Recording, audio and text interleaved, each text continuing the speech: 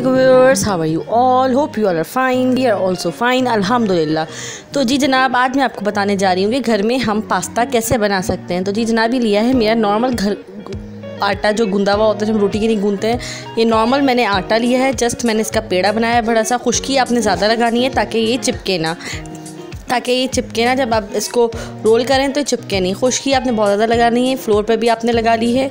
Floor पे भी लगानी, लगा ली है और वैसे भी लगा लिया। मैं इसको बहुत बड़ा सा, पतला सा, पतली सी रोटी बेल लूँगी।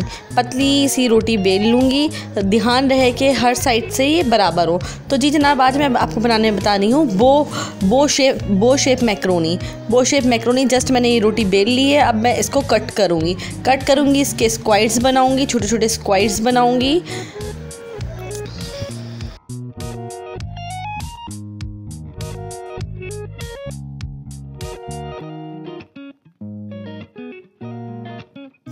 देखिए जनाब, यहाँ मैं स्क्वायर्स कट कर रही हूँ। अब स्क्वायर कट करने के बाद व्हाट विल वी डू कि हर स्क्वायर के बीच में से हम सेंटर में से इसको पकड़ के दोनों साइड से दबा देंगे। तो ये हमारे बो शेप मैक्रोनी बन जाएँगे। देखिए, हमारे बो शेप मैक्रोनी बन के तैयार हो चुके हैं। हमने प्लेट्स में रख दिया है और हम इसे तकरीबन डेढ़ से दो घंटे रख देंगे तो ये ड्राई हो जाएँगे।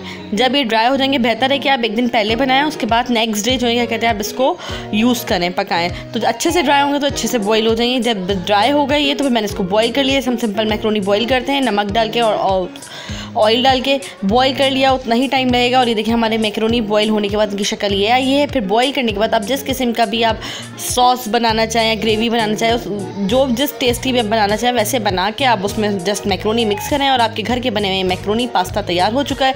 उम्मीद आपको मेरी वीडियो पसंद आई होगी। वीडियो पसंद आई तो लाइक कीजिए शेयर कीजिए सब्सक्राइब करना हर किस मत भूलिएगा। मेरी नई आने वाली वीडियो तक आने तक के लिए अल्लाह हाफिज़।